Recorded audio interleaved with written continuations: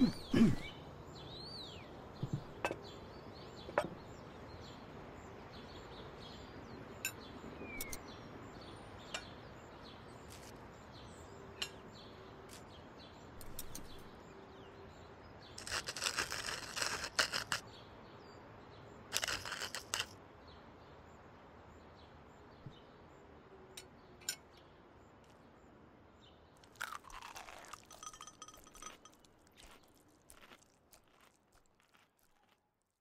Hello. We are now seeing a renaissance of the chin.